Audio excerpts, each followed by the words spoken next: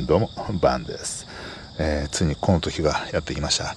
えーダイソー330円グライダー3倍体ですけれども、えーいよいよね、琵琶湖の方に旅立たせようというふうに思います。何回目やといったところではありますけども、それでは準備していきます。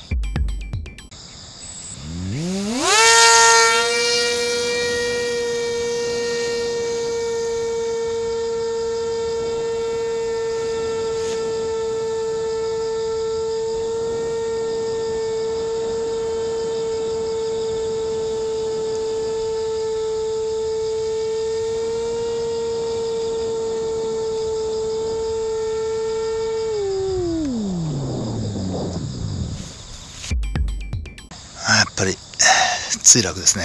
琵琶湖にはまってなきゃいいんですけども、取ってきます。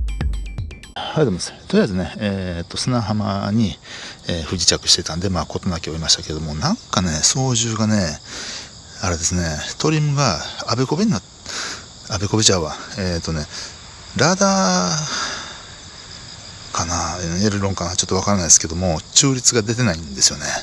やっぱりもうちょっとだけ陸上でまっすぐ飛ぶようにしてから、えー琵琶湖に食べてたせます。えー一旦カット。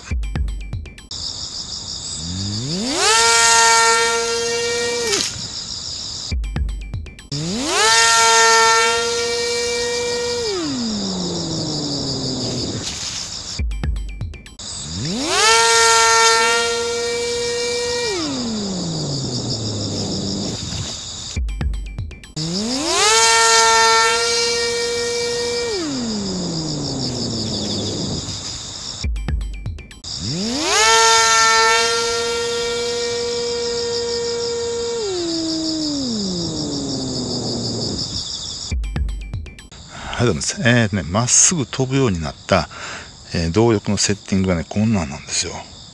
だいぶ右へ強制しないと飛ばないんですよね。これも、えーエルロンもエレベーターも。エルロンなんかこんな切ってるんですよね。これだと空力も良くないですよね。うん、胴体が曲がってんのかな。いや、そんなわけもないしね。サイドスラスもちゃんとつけてるんですけどね、こっち向きにちょっとね。うん、そんなとこにやっぱりつけたらダメなんですかね。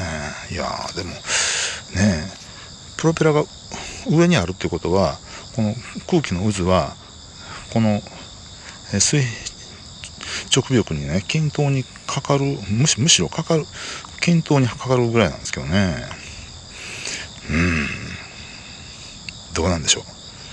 えーアドバイスいただければと思います。ねじれてるのかな、うんもっとサイドスラストつけた方がいいんかなってなとこですね。はい、以上です。ではでは。